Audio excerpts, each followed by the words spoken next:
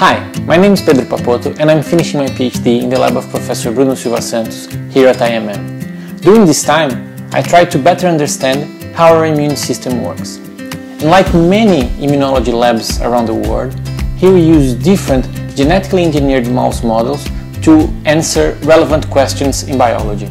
However, one of the problems with these models is that sometimes we cannot transpose the findings that we have to human settings.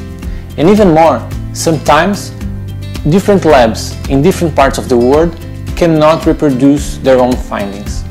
This happens because most of the times we overlook the role of environmental factors on genetic features.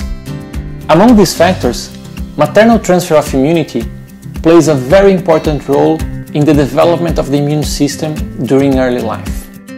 And as a matter of fact, here in the lab we work with a population of lymphocytes called gamma delta T cells that are present in different tissues connecting mothers and their babies. So we wondered how the absence of maternal gamma delta T cells may impact on the development of the immune system of the progeny.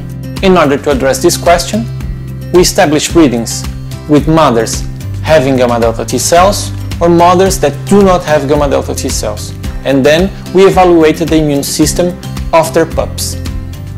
Interestingly, we found that pups born from mothers lacking gamma delta T cells, even in the absence of infection, possess an immune system that is more prone to inflammation with more inflammatory cells and inflammatory proteins. Also, during infection, these same pups they respond with much more inflammation than the pups that were born from mothers with gamma delta T cells. How maternal gamma delta T cells can control this process?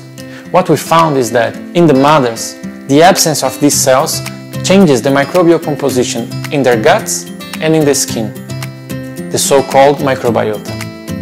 And these changes are passed on to their pups. To sum up, the main finding of my PhD thesis is that the maternal immune system, namely gamma delta T cells, can control the composition of maternal microbiota and that this microbiota is passed to the pups, which in turn can educate their immune system.